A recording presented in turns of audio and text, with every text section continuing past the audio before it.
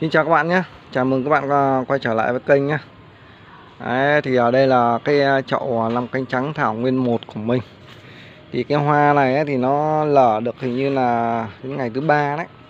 đấy thì tên của nó là năm cánh trắng thảo nguyên 1 đấy thì các bạn xem qua hình ảnh. Đấy thì mình quay trực tiếp bạn xem. Thì các bạn thử đoán xem là cái hoa này nó màu gì. Đấy thì nó có ba các loại màu. Đấy thứ nhất là màu trắng thứ hai là màu hồng thứ ba là màu tím. Thì các bạn thử đoán là cái cây long cánh trắng thảo nguyên một này à, à, nó là màu gì nhé thì với cái cây này ấy, thì mình sẽ làm một cái video riêng. Đấy, thì mình sẽ nói chi tiết là cái về cái trường hợp mà cái cây này à, từ lúc mà nó nhú nụ hoa đến lúc nó nở nó như nào thì là các bạn hiểu rõ hơn.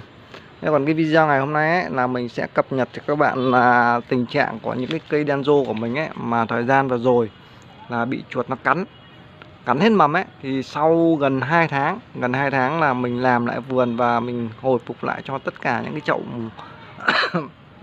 những chậu mà bị chuột nó cắn hết mầm. Thì đến hôm nay thì nó như nào? Đấy, nhưng mà trước tiên thì mình uh, uh, cũng có một cái này cũng muốn cho các bạn xem. Thì hiện tại ở đây là mình đang có ba chậu đen rô. Ba chậu đen rô này là mình cũng mới lấy về à, lấy của nhà vườn về.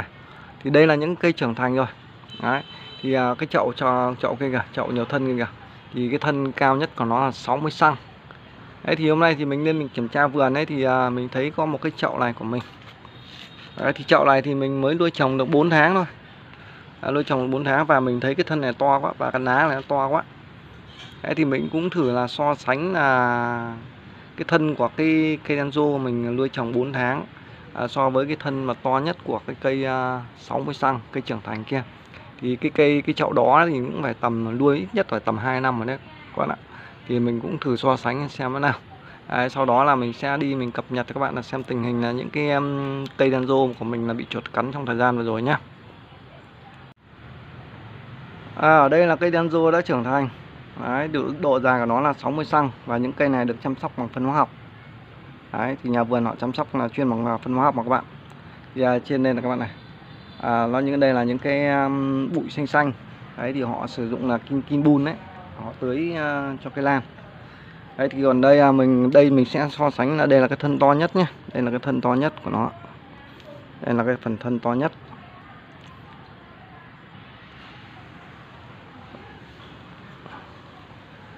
Ok đây là cái thân cái khúc to nhất này. Đây là cái khúc to nhất này.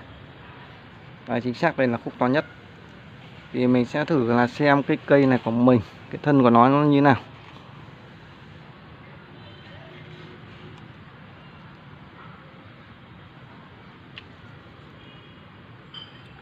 Rồi ok đây các bạn. Đấy, các bạn quan sát. Thân rất là mập luôn.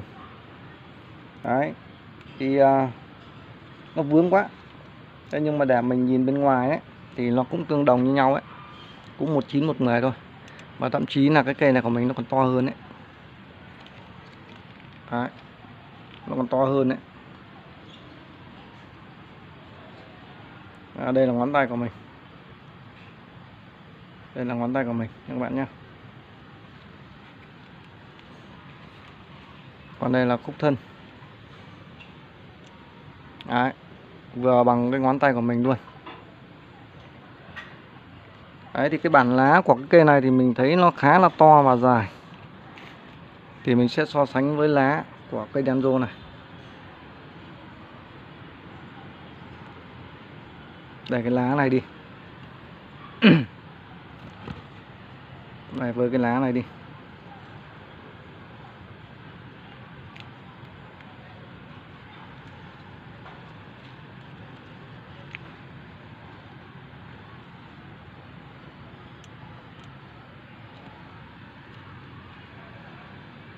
À, cái lá của mình thì nó nhỏ hơn. Đấy, nhưng mà độ dài thì nó dài hơn. Đây, dàn lá này nó mới dài các bạn này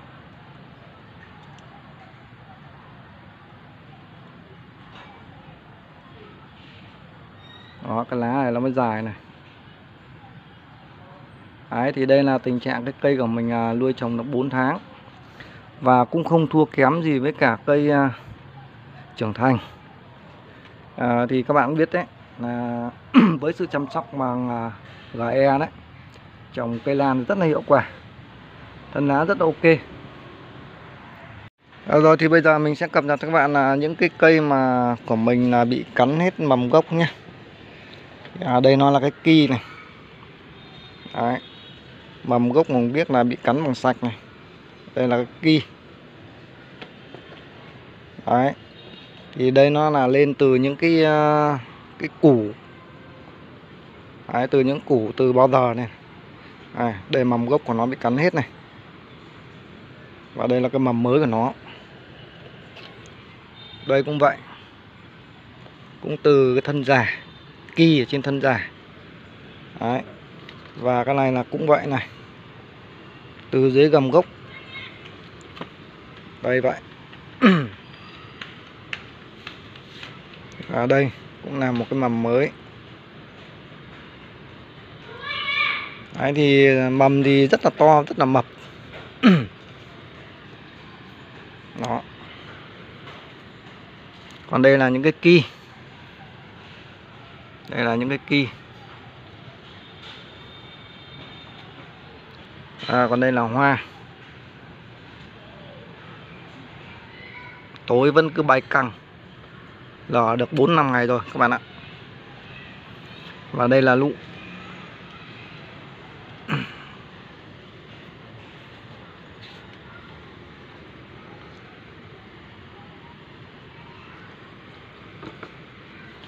À, nói chung ấy là những cái loạt mà của mình bị cắn mầm gốc này ấy, thì à, mình kiểm tra lại ấy, cả một cái dãy này lên trên kia là mình à, bị hỏng mất khoảng 50 chậu là như này.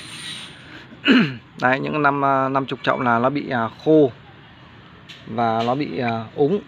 Bởi vì là những cái vết cắn này là các bạn này. Những cái vết mầm mà bị chuột nó cắn ấy thì mình quá nhiều cây nên là mình không thể xử lý được. Nên là mình không thể xử lý một lúc mà 800 cây đến 1.000 cây được. Nên là chính vì vậy là mình cứ vậy là mình sắp xếp lại và mình tưới nước và mình chăm bình thường thôi.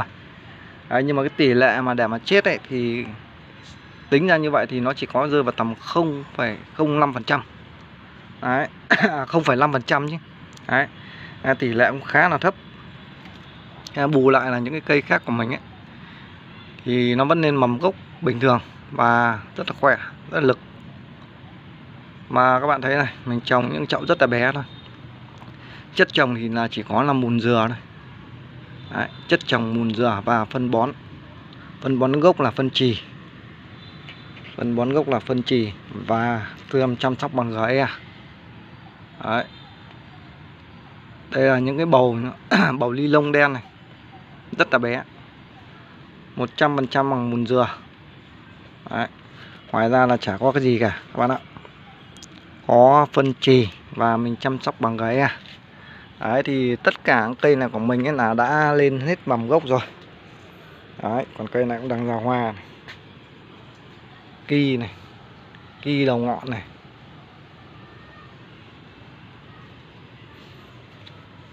Đấy, thì cái loạt này là lên hết mầm gốc rồi các bạn ạ. Lên hết rồi.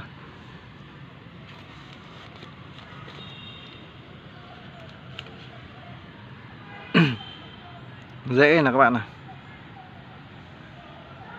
đấy, dễ to chưa?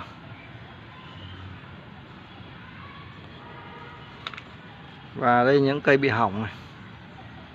Đấy. và có những cây thì à, gần hỏng và nó vẫn cứ lên một cái mầm. Đấy, những cái thân này là hỏng rồi những thân vàng vàng này là hỏng rồi. Đây là cây này thì cũng hỏng này và lên được mấy cái ki này. Lên ki này.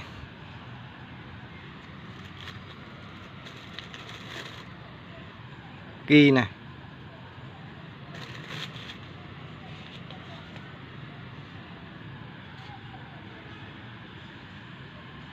Rồi à, các bạn. Thì đó là tình trạng của tất cả những cây đen rô Mà vừa rồi là mình bị chuột nó cắn. Thì các bạn quan sát ấy thì là tất cả những cái mầm ấy Là nó lên từ là những cái thân à, già Những cái thân già của những cái, cái đọt trước ấy. Đấy. Cái này thì chưa lên này Cái này thì chưa lên này. À, Lên bên này rồi Lên bên này rồi. Đó các bạn nhìn này. Đấy nó đã lên này. Đấy, lên từ cái thân bé tí tí này. Lá sẹt này. Lá sẹt này các bạn này. Và đây cũng là lên từ cái củ uh, bé bé này. Đấy. Rồi thì mình uh, xin kết thúc video ở đây nhé và hẹn gặp lại các bạn ở trong video tiếp theo nhá.